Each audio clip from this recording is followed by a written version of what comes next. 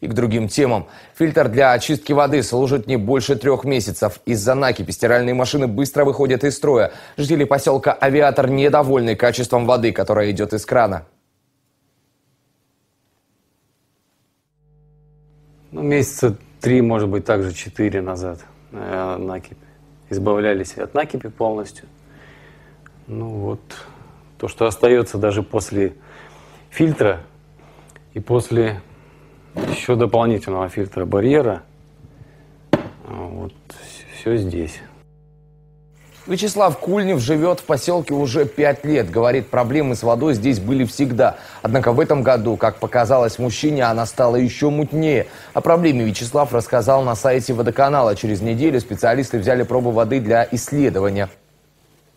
По словам мужчины, после того, как они сняли фильтры, из крана пошла вода черного цвета. Сейчас Вячеслав, как и другие жители поселка Авиатор, ждут результаты исследования.